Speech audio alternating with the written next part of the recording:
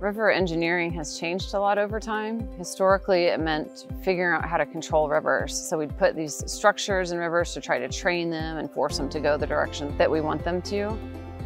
But today it has a very different meaning. It's more about understanding rivers as systems and trying to help connect processes in rivers to benefit both people and the aquatic organisms. So we do a lot of habitat restoration and work a lot on dam removal, but also reservoir operations, or how to make dam operations more environmentally friendly. So it's bringing together idea of engineering of rivers, but also with this other sort of set of context and values around how can we make them uh, more whole for people and for the ecosystem.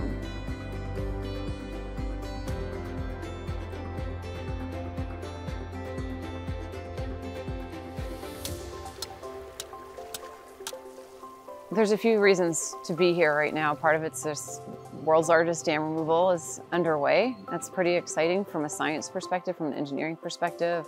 There's a lot to learn, especially about how rivers undergo change with sediment and nutrient pulses coming downstream. We're studying water quality changes in the river with dam removal.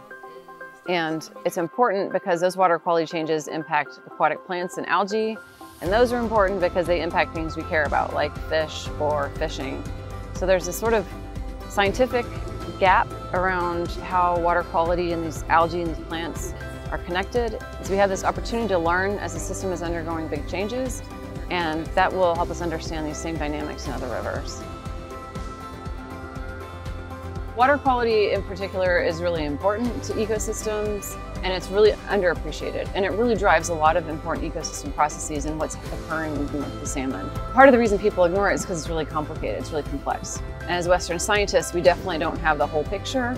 And so we really wanted to bring in, for example, tribal knowledge and other people who've spent you know, many generations on the river to try to really bring in these multiple perspectives to understand this really complicated thing.